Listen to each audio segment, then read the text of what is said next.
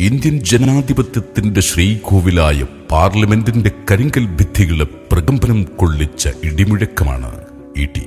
അന്യായം പ്രവർത്തിച്ച അക്രമിയായ അധികാരിയുടെ നേർക്ക് വിരൽ ചൂണ്ടി this is not fire sir ഇത് ശരിയല്ല സാർ എന്ന് ഗർജിച്ച നീതിയുടെ അട്ടഹാസമാണ് ഇ ടി.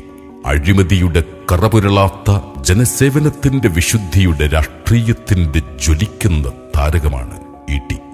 അറുന്നൂറ്റിയഞ്ച് പദ്ധതികളിലായി മുപ്പത്തിമൂന്ന് കോടി രൂപയുടെ പ്രപ്പോസൽ സമർപ്പിക്കുകയും ഇരുപത്തിയേഴ് കോടി രൂപയുടെ ഭരണാനുമതി വാങ്ങിത്തന്ന് പ്രാദേശിക വികസന ഫണ്ടിൽ നിന്നും തൊണ്ണൂറ്റിനാല് ശതമാനവും ചിലവഴിച്ച് പൊന്നാനിയിൽ വികസനത്തിന്റെ പൊന്നു വിളയിച്ച പൊന്നാണ് ഇ ടി.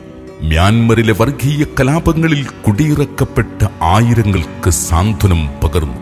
ഉത്തരേന്ത്യയുടെ ഗ്രാമഗ്രാമാന്തരങ്ങളിൽ അവിശ്രാന്തം ഓടി നടന്ന ആർദ്രതയാണ് ഇ ടി വ്യാജ കേസുകൾ ചമച്ച് ചെറുപ്പക്കാര് തുറുങ്കിലടച്ച ഭരണകൂട ഭീകരതയുടെ മുഖത്ത് നോക്കി കലഹിച്ച ന്യായത്തിന്റെ കലാപമാണ് ഇ ടി കലാപം ദുരിതം പെയ്ത മുസഫർ നഗറിൽ കാരുണ്യ ഭവനങ്ങൾ പണിയാൻ സാരഥ്യം വഹിച്ച സ്നേഹമാലാഖയായ രാജ്യസേവനമാണ് ഇ ടി ക്യാൻസർ എന്ന മഹാധീനം തീർത്ത വേദന കടലിൽ ആശയറ്റുപോയ അനേകം മനുഷ്യർക്ക് പ്രതീക്ഷ തിരിച്ചു നൽകിയ സി എച്ച് സെന്റർ എന്ന അതുല്യ സംരംഭത്തിന്റെ ചുക്കാൻ പിടിച്ച കാരുണ്യ നേതൃത്വമാണ് ഇ ടി ഇ ടി അല്ലാതെ പിന്നാര് വരണം പാർലമെന്റിൽ